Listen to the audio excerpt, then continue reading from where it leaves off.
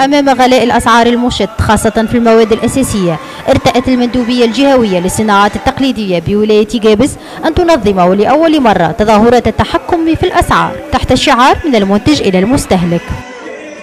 عرض لمختلف السلع والبضائع بأسعار مدروسة ومنخفضة ورمزية أحيانا أخرى مناسبة لمصالحة الحريف مع التاجر من جديد. هذا كان يعني سعي دؤوب وحبينا نرسخه من خلالها يعني آه، جانب تكافل. وتضامن بين مختلف يعني آه، مكونات المجتمع من منتج وتاجر آه، إلى من ناحية والمستهلك من ناحية أخرى. وجد الحريف في هذه التظاهرة ملاذا للأسعار المنخفضة التي تراوحت بين 30 و 50%. قديش الدقلة؟ والله دقلة ب 2000 الكيلو.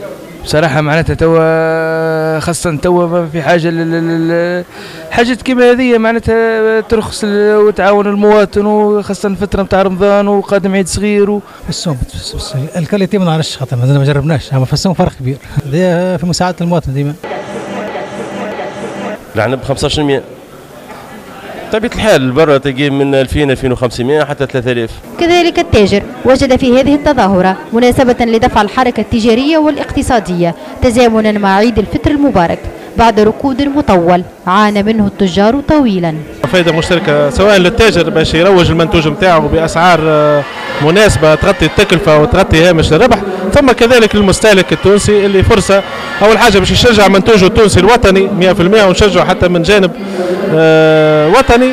ثم كذلك المستهلك يلقى اختيار واسع هامش من الاختيار باش يتحصل على منتوج ذو جودة وذو تكلفة معناتها معقولة. فما برشا برشا réduction فما 50% 30% réduction كبيرة. هذا بقداش كان وبقداش ولا هذا كان ب 35 بالنسبة للمعرض عملناه ب 18000 حتى إحنا في بريسك 50% من المنتج إلى المستهلك. تظاهرة اقتصادية تضافرت فيها مجهودات اتحاد الصناعة والتجارة المندوبية الجهوية للصناعات التقليدية المندوبية الجهوية للفلاحة جمعية أئمة جابس مجهودات متضافرة من مختلف مكونات المجتمع المدني لحماية المستهلك أسعارا وجودة. بطبيعة الحال كان الهدف هو حماية المستهلك كما قلنا آه، فيما يخص يعني المنتوجات الحساسة حيث آه، تتوفر في هذه التظاهرة منتوجات يعني آه، على غرار الخضر والغلال الملابس الجاهزة والأحذية يعني الدقلة زيت الزيتون.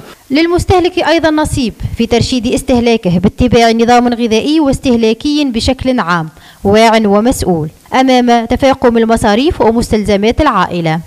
وبالتالي هنا يعني توصية أو نصيحة نقدمها للمستهلك أن يحافظ على الصحة يعرف منين يشري يعرف كيف يشرب شربة الماء إلى آخره.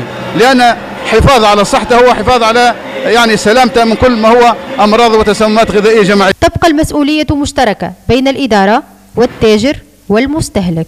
رقابة مشددة على عمليات الاحتكار والتجاوزات من قبل الإدارة. تنازل نسبي عن السعي وراء الربح المفرط أو الربح السريع من قبل التاجر وحسن تصرف أو التحكم في المصاريف مع احترام الأولويات من قبل المستهلك. وحدها هذه المنظومة تكفل التوازن في الحركة الاقتصادية.